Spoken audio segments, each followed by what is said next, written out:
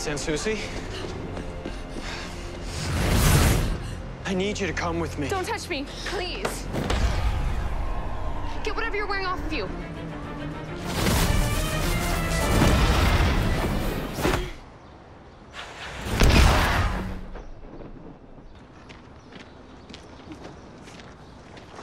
Downrange, insurgents started booby trapping cars.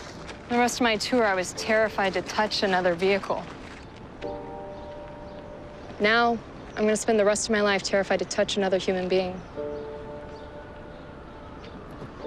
Have they tried to help you?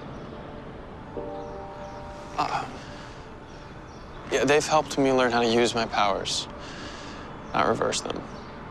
If they could reverse it so you weren't a meta-human, would you?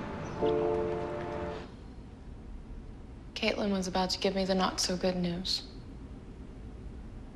The shrapnel in your body has merged with you on a cellular level. Uh, technology required to unsplice your DNA. It hasn't been invented yet.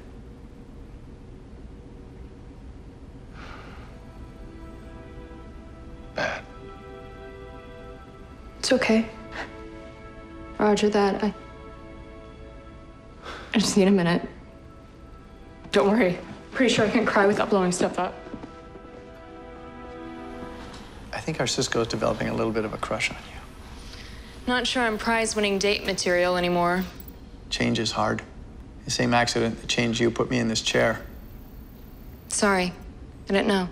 I don't share that story with you to garner sympathy. I tell it to you to illustrate a larger point. point And what point is that? that I would do anything to get back what I lost. As would you. I would.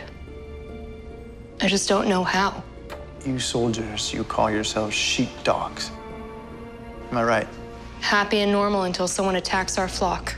Every good person who was changed that night, people like you, people like Barry Allen, those people are your flock now, Bette.